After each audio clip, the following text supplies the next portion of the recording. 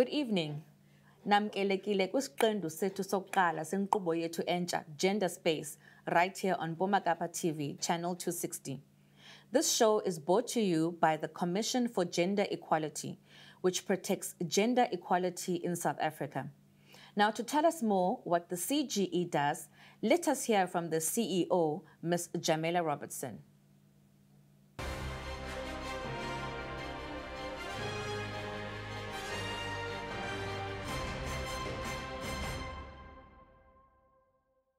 All know, the Commission for Gender Equality was established in 1996 in terms of Chapter 9 of the Constitution.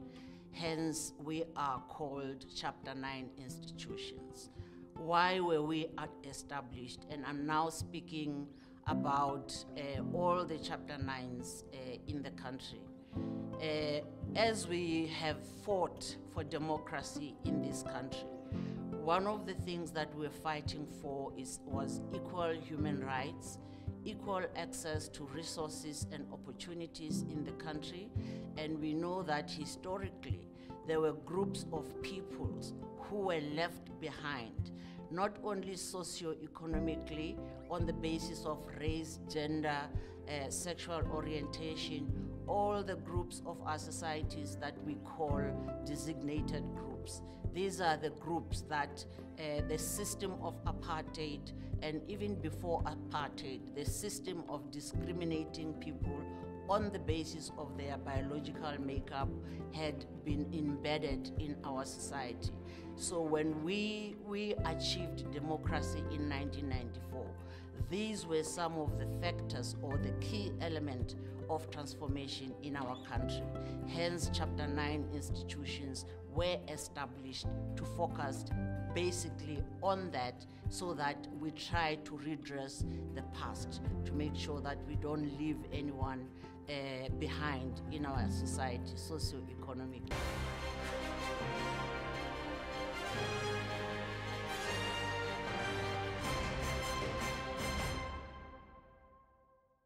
Quite an informative video that we just watched from the CEO, uh, Ms. Jamela Robertson. But right here in studio, we are joined by the Eastern Cape Provincial Manager for the Commission, Mr. Ngaba Mkhwebo. Um, Mr. Mkhwebo, can you please tell us more and expand on what the Commission um, does after what we just heard from the CEO? Um, thanks, Sister Temple, for the opportunity and greetings to your viewers. The Commission for Gender Equality was established in terms of Section 187 of the Constitution of the Republic of South Africa, which mandates the Commission to, to, to promote respect, attainment of gender equality. Um, as well as the Commission for Gender Equality Act number 39 of 1996, which give the Commission powers also to make inputs into other proposed legislations or bills, including indigenous policies. The Commission is also mandated to conduct awareness or um, community empowerment in sensitizing communities around gender equality. Uh, we normally say the mandate of the Commission is too broad because we are not only looking at the, um, at the domestic legislations that our government have passed, but we also look at the international instruments that our government have ratified. Those will include your Beijing Platform for Action, the Convention on the Elimination of Discrimination Against Women, and the SADC Protocol on 50-50. So the CGE will report on these international instruments in terms of government compliance with such instruments. The CGE is also empowered to investigate both public, private, as well as government entities in terms of achieving gender equality in the Republic of South Africa. Okay. Um, now, what are some of the issues that the Commission is dealing or addressing with um, with regards to society in general? Um, the, within the commission, there are units. We have the department that is called Publication and Information Department, which is a department that is tasked solely to work directly with communities in empowering them on their rights. So we do that through outreach and public education, and through outreach and access to justice information sessions. And we do that through working with stakeholders or having stakeholders engagement on a certain thematic areas like gender-based violence and femicide, gender-based violence, religion and culture, as well as gender-based violence and harmful practices. And we will then again look at the issues such as women empowerment when we do such work within the Department of Publication and Information. But again, the Commission for Gender Equality has a, has a legal mandate of protection in terms of the rights that are being violated in terms of gender discrimination. So you will have then a legal unit that takes complaints directly from the public or investigate complaints on own accord or investigate complaints that are referred to the Commission for Gender Equality that pertains to violation of the rights on the basis of gender. So that's how we, we, we exercise our mandate in terms of the two respective departments.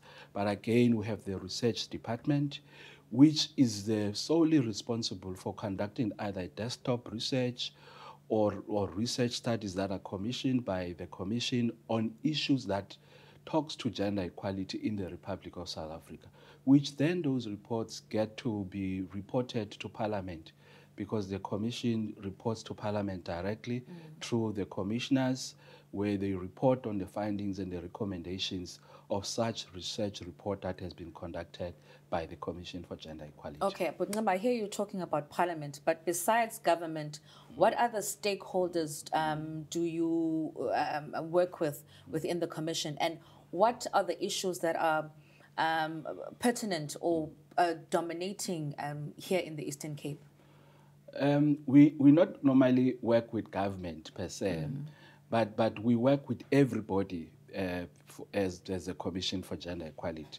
Our mandate um, in terms of the CG Act, it says we must work with all the like-minded organizations, mm -hmm. but it also says we need to work with the sister Chapter 9 institutions. Mm -hmm. So there is a sort of a referral system where any complaints that is being lodged in the CGE, if it does not fall on our mandate, we can't fold our arms. Okay. We then refer that either to the Office of the Public Protector or to the Southern Human Rights Commission or to the commission with a long name that we normally call CRL Commission, mm -hmm. Commission on Linguistic and Cultural Practices. So we'll normally refer such complaints to the sister Chapter 9 institutions. Mm -hmm. So we work with everybody in the commission, including private sector, including civil society organizations. Some of the issues that are prominent in the Eastern Cape when it comes to gender is, is, is issues such as gender-based violence, harmful traditional practices, which include early child forced marriages and forced marriages, as well as the issues around widowers' rights, which some of them face a number of challenges when they are in the mourning periods. Uh, because of their husband has passed away. Um, but also the, the commission has been conducting um, awareness sessions okay. as well as analyzing the integrated development plans, which we call IDPs from the municipality. We have a project that we call gender mainstreaming, where we engage municipalities and see to it their IDPs are engendered. Where we administer a, a, an audit tool, which we call a gender mainstreaming audit tool, so that municipality could respond on issues such as women empowerment, could respond on services that they render, whether such services that they render are disaggregated in terms of gender. Okay, and okay, but let's just hold it right there. Mm -hmm. um, as you can see at home, guys, there's a lot to unpack, um, but please stay tuned um, as we will be discussing more and more things that the Commission does for us and our society. Thank you. Thank you.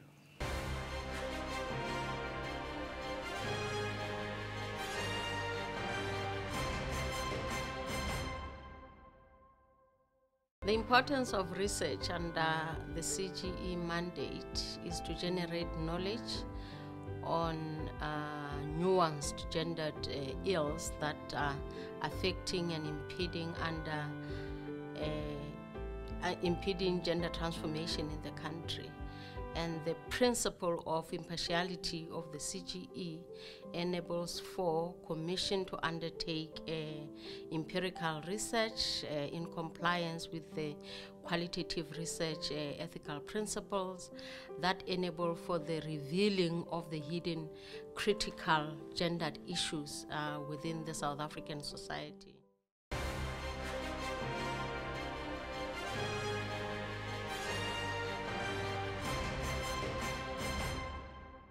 Welcome back. You are still watching Gender Space right here on Mpuma Kapa TV with me, Noba Tembukani.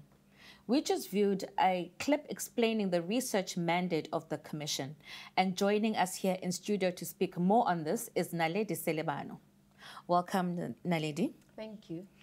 Now, Naledi, um, of the research reports that were released in 2020 and 2021, there's two that I would like us to focus on the One Step Forward um, report and also the Emergency Response Action Plan.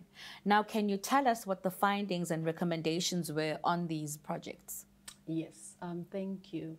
So yes, both uh, studies were mm. part of the broader theme on gender-based violence and femicide. Okay. And it has been the strategic focus of the CGE since inception to monitor and assess all country responses and initiatives geared towards uh, combating gender-based violence.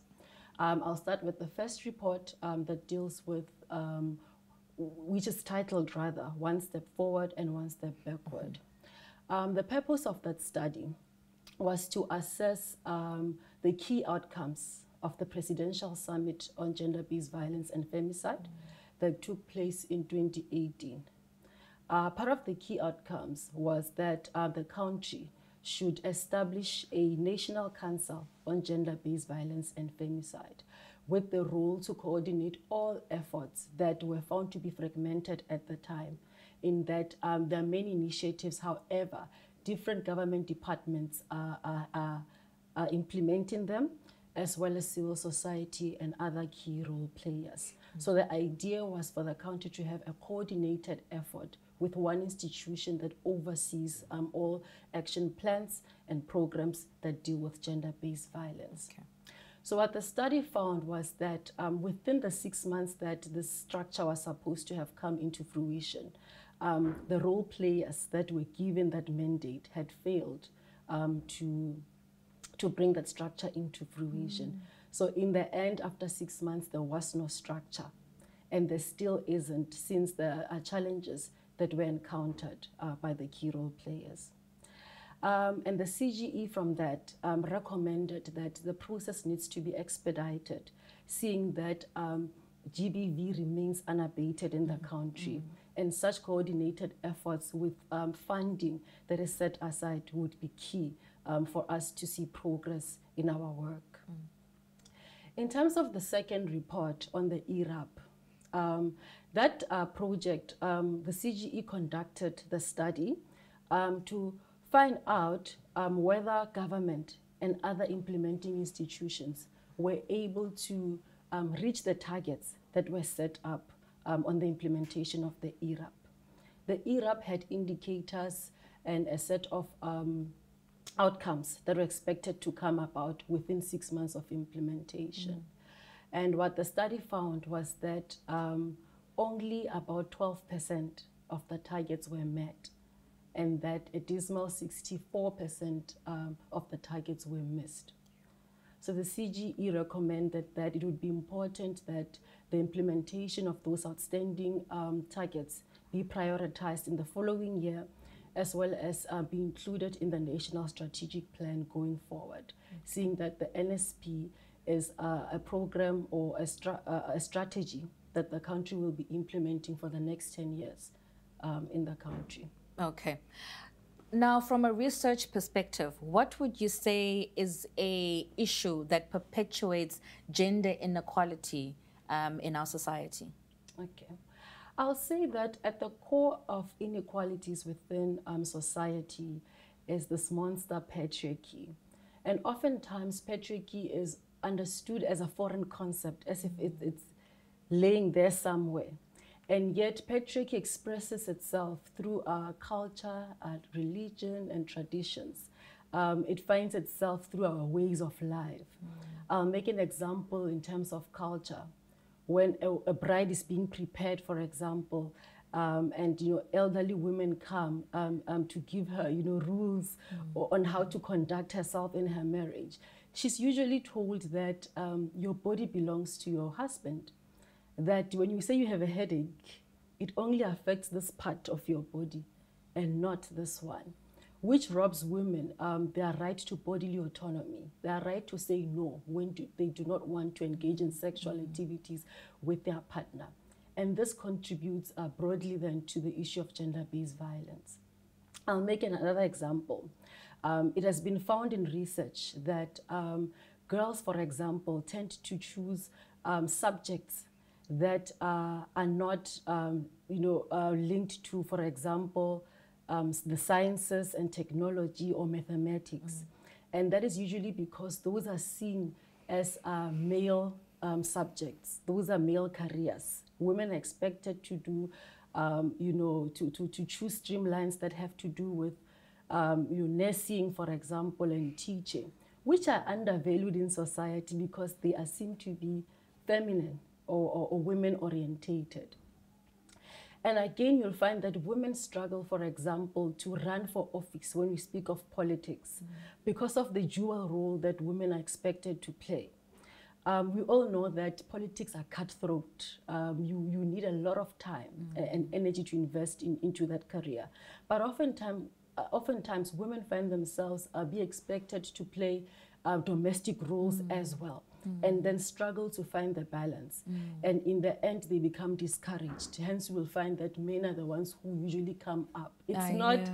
you know, it's not that it's inherent in men that they are born leaders. I think a, a- lot of the times it's issues that we take for granted, um, which are actually uh, perpetuators of gender inequality in our society. Wow, guys, there's still a lot to unpack um, when it comes to um, the work that the Commission does. Please stay tuned as we come back with more after the ad break.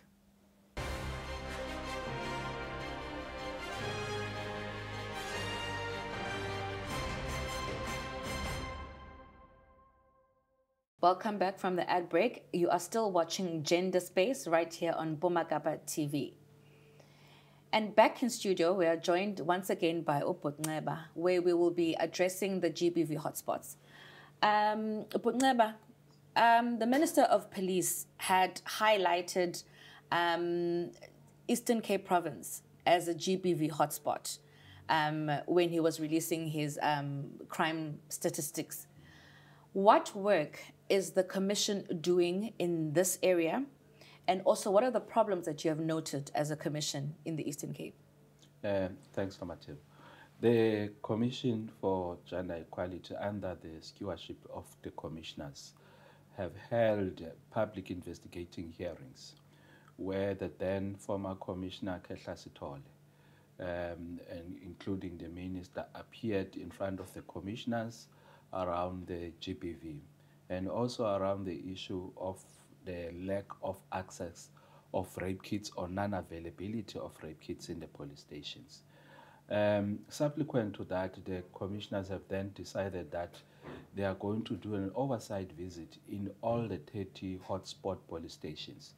In the province of the Eastern Cape, we sampled um, um, uh, almost five police stations, uh, including Lusikisiki, which is a hotspot police station on rape, Umtata, which is a hotspot station on contact crimes that will include uh, murder um, and, and assault. Um, we have also uh, vi- uh, done a visit to Kwazakele police station under Ikabecha, um, under Nelson Mandela Bay municipality. Um, we have also uh, conducted site visits to Addo police station, which is also still falls under Nelson Mandela Bay Metro Municipality, and including um, the police station under Sarah Baartman District, Grafrenet. Um, we were not only focusing on the hotspot per se in the Eastern Cape, but we wanted also to check in terms of the rural communities, because Addo is more rural police station, Graaff Reinet is more rural and farming communities. How are they help or get assistance by, by the police station?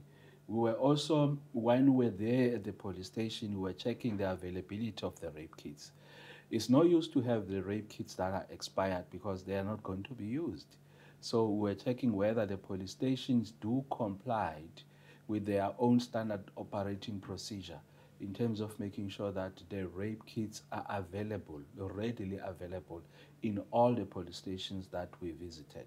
We were also looking at the victim-friendly rooms in the police stations, whether the victim-friendly rooms in the police stations, they do take into consideration the rights of the victims, right to confidentiality, as well as when they are there, they do get professional services if they have um, maybe undergo a, a, traumatic experience, whether they have any people that do counsel them.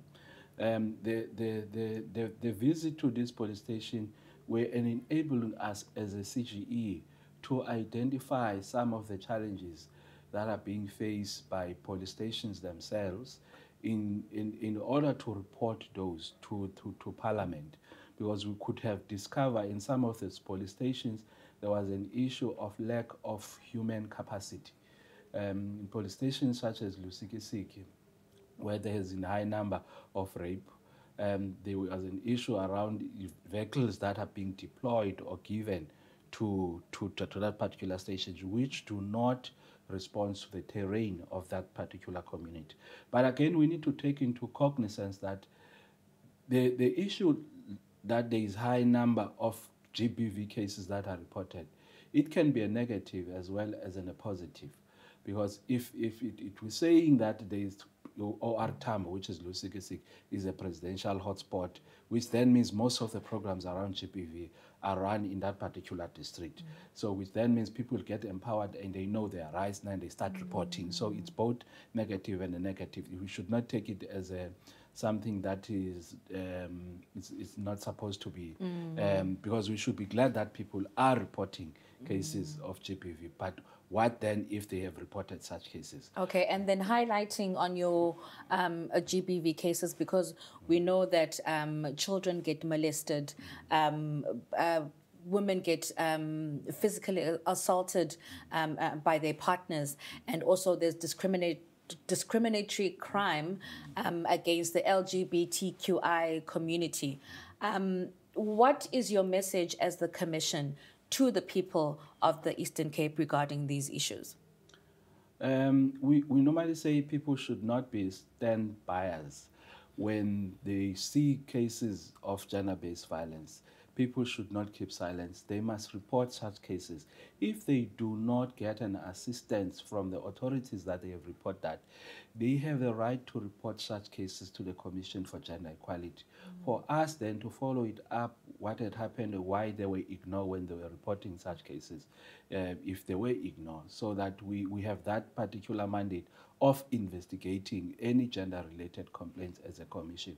As a result, one, one of the interventions that the province has made also again was the fact that um, the, the former commissioner, Mamunchinga, was also one of the commissioners who were called for public investigating hearings on the cases and the rape kits and the issues of DNA in the province of the Eastern Cape. Mm. Mm. Thank you, Bungaba, for joining us. There's clearly a lot to still unpack when it comes to the province and what um, the Commission does, not only for, for the province, but nationally. Um, please um, stay tuned as we will continue these conversations on a weekly basis. And for you viewers at home, if you want to get more information on these reports, please go to the website www cge.org.za. Also, if you have any gender any gender related complaints, you can contact the Commission on its toll free number, which is 0800 007 709. As I said, stay tuned next week, same time, same place, same channel, as we bring you another installment of Gender Space.